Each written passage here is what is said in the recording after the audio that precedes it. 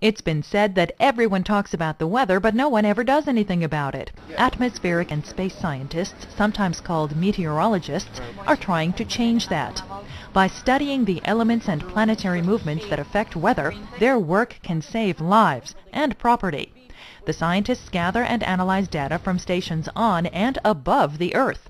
Using computer models, they develop forecasts for upcoming weather. An important part of the job is being able to identify dangerous weather patterns and issue warnings, giving those in the path of an oncoming hurricane, for example, time to evacuate.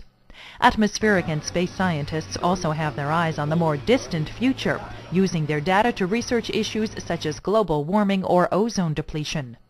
It's a career that requires training in college with earth science and meteorology courses.